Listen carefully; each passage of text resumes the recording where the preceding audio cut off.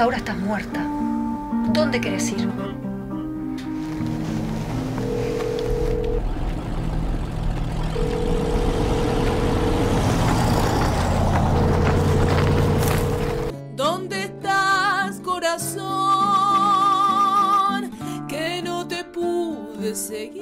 Hola, mi nombre es Karina Piazza y soy una de las directoras de La Noche Adentro, una película que codirigimos con Alejandro Alonso y que a partir de hoy pueden ver en los cines de, de Mendoza. Eh, la noche adentro transcurre en la Valle, Mendoza, en la década de los 70 y aborda la realidad de, mm, de, una pequeña familia, un padre con su hija, que pronto ven alterada su realidad cuando una noche llega la Salazar, una militante herida, que deben albergar y que eso pone en peligro sus propias vidas, bueno, y la de la Salazar también.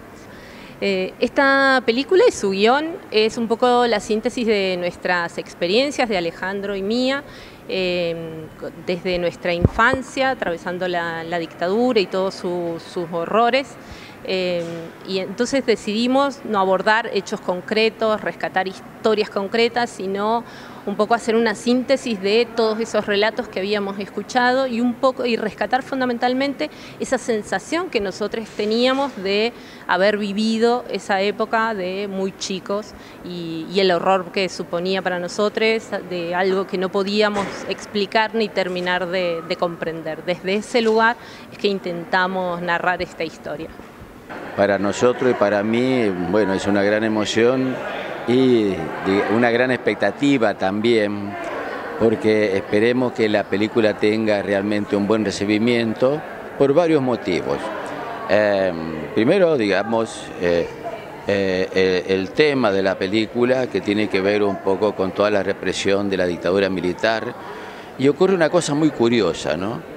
Digo curiosa porque eh, el hecho sucede en un lugar donde uno pareciera que dice, acá no pasa nada, porque es un lugar eh, rural, un lugar del campo, donde sí sucede realmente. O sea, como quien dice, la dictadura y la represión de la dictadura llegó hasta los este, rincones más eh, o menos esperados. Ese es el primer suceso.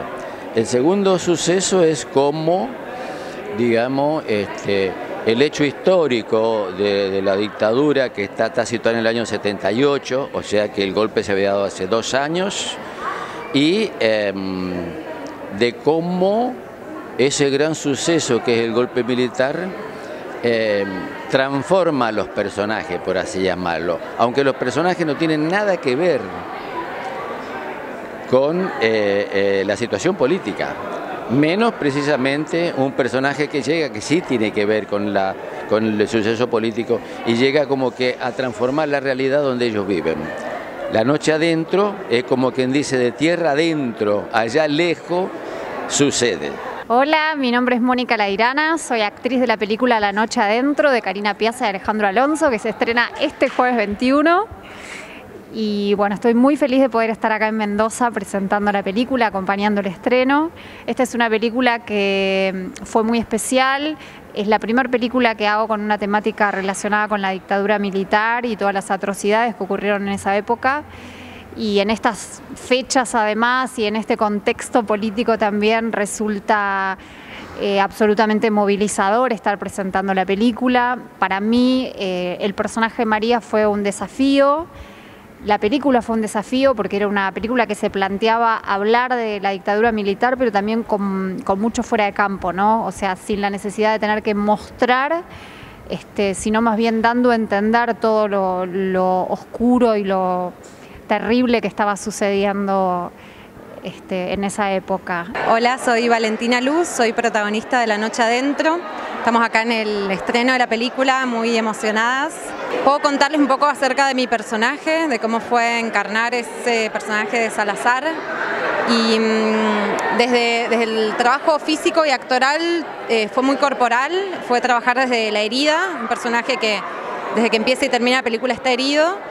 Eh, entonces, bueno, fue, fue llevarlo al cuerpo, al dolor, a, a, a esas limitaciones. Y desde, desde la historia del personaje y de la historia del contexto sociopolítico, sociocultural de ese entonces, fue un poco también llevar eh, al cuerpo y a la memoria relatos eh, de mi madre y de mi familia que, sufrieron eh, la dictadura, la última dictadura de Argentina.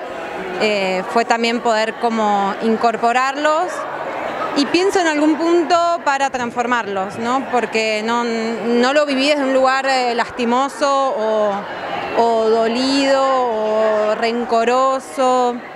Fue como, bueno, traer a la memoria, eh, al cuerpo, todo eso y, bueno, personificarlo. ¿no? Eh, y creo que un poco por ahí viene el arte de transformar y de recordar. Creo que este estreno es muy importante en estas fechas, ya que tal vez hay muchos jóvenes que o no saben eh, lo que fue la última dictadura militar en Argentina y creo que es importante recordarla sin rencor, eh, sin odio, sino con, la verdad, con amor y, bueno, y por supuesto que nunca más pase, nunca más suceda. Empezamos este proyecto allá por el 2016 con un desarrollo de guion con Karina Piazza y Alejandro Alonso, que tuvimos la suerte de haber ganado el concurso Glazer. Raimundo Glazer es un concurso que da el Inca, o por lo menos daba el Inca para óperas primas, que son proyectos que de otra forma no podían acceder por los puntajes, los antecedentes, al financiamiento del Inca. Una vez que ganamos ese, esa convocatoria tuvimos la posibilidad de desarrollar mejor el guion, de hacer clínicas de desarrollo, de hacer crecer el proyecto y así aplicamos al fondo del instituto, fue un concurso em, que bueno, logramos filmarla en 2019 y una vez que la teníamos y veníamos con todo el entusiasmo, eh, estábamos por arrancar la postproducción y vino la pandemia.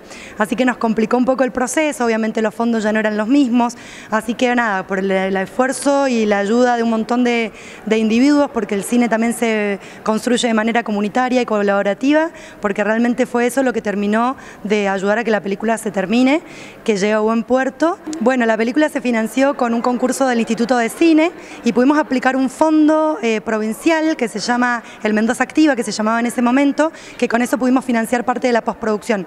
Entonces, entonces creo que esa amalgama, esa unión que estaba haciendo los proyectos locales con el Instituto de Cine y la ayuda financiera de la provincia era, es, quiero decir que todavía es un caldo eh, próspero para que se puedan seguir haciendo películas en las provincias. Si el instituto empieza a mermar sus ayudas, si no tiene una visión federal del cine, la verdad que lo que vamos a poder hacerse acá son solamente tanques que vengan de afuera o de Netflix y no apostar a la, a la cultura local, a nuestras historias.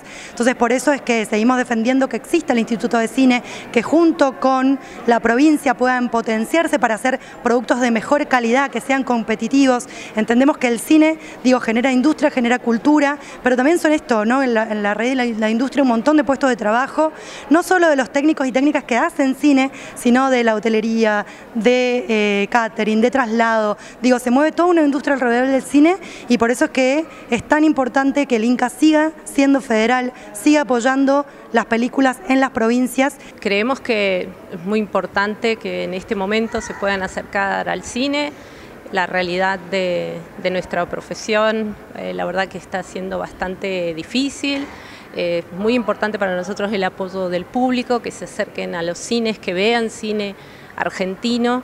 Eh, cine que no solo nos da trabajo, sino que también construye nuestra identidad, nuestra historia y fundamentalmente la memoria de este país. Mi hijo está enfermo, grande. ¿Y no sentís curiosidad por el mundo? ¿Por lo que pasa afuera? ¡Vamos, vamos!